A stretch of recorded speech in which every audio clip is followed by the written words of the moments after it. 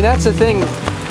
I don't know if kayakers are, have realized it yet, but like that whole hard shell fad, Oh yeah. it's over, man. Oh, it's a total fad. It's like I think I'll put my boat on Craigslist before they go obsolete.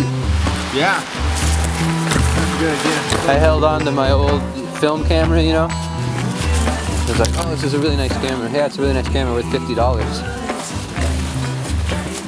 I mean, part of what's so sweet about it is that you don't really have to do any approach.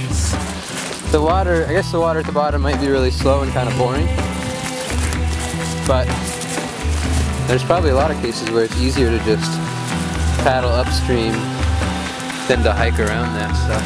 Well, like cross country pack rapids. You go up and down. Oh, that's true. You could still. I kind of even forgot that you could still paddle downstream. Yeah. Oh my god. Yeah, you just empty the helium, go back down.